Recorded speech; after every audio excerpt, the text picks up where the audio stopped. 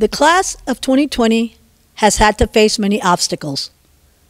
Despite all those obstacles, you have found a way to overcome. Just remember that in a few years, all of this will be documented in textbooks. So the good news is you are making history. Today we are honoring the top 10%, which will be announced in alpha order. We know that today's ceremony is an unusual way to announce the top 10%, but of course, these are unusual times.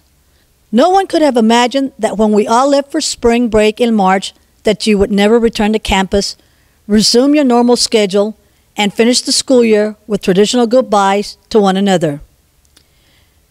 We know that you did not ask for or choose all these unusual events that have been forced upon you. But we are so proud of each of you for how you have chosen to handle it. Remember, as you go out into the world, you have proven that you are resilient and can achieve any dream you have.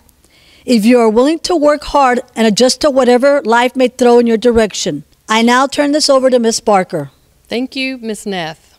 Zachary Almendarez, Casey Britton, Madeline Cassart, Natalie Castillo, Catherine Colburn, Lizette Del Angel, Christian Duff, Kendall Dusek, Francisco Eguia. I'm going to now turn it over to Miss Nelson for the next part of the alpha. Thank you, Miss Barker. Camilla Escobedo, Jeremiah Flores, Mariah Gilbert, Aseneth Greathouse, Jara Jennings, Emily McClendon, Taylor O'Brien, Alyssa Rodriguez, and Andrew Rosas. And now I'll pass it on to David Lowe for the final alpha. Thank you, Miss Nelson. Caitlin Sanez, Hannah Staub, Brittany Starry, Kyle Swanson, Parker Tinnell, Austin Thompson, Lauren Unterbrink, Morgan Vonderman, Andy Wong. And now back to Miss Neff. Thank you, Mr. Lowe. Now we will recognize the top three students of the class of 2020.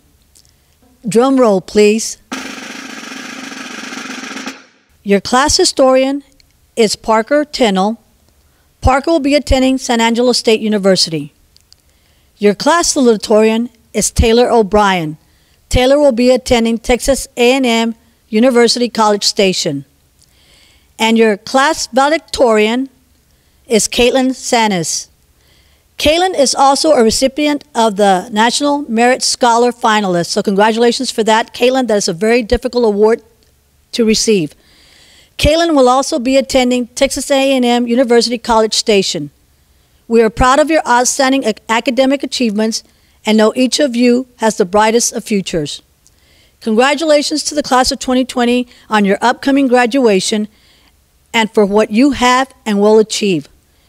You are a remarkable class that will continue to do remarkable things. We are Calallen proud.